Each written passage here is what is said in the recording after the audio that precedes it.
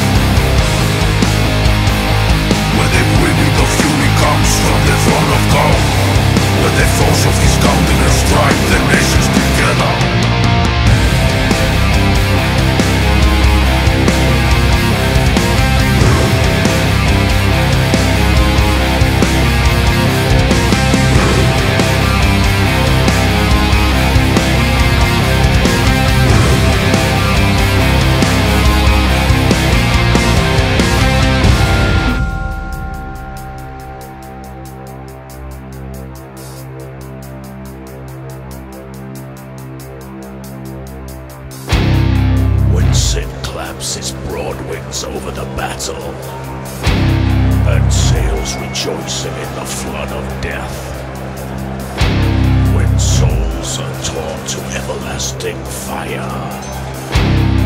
And fiends of hell rejoice upon the slain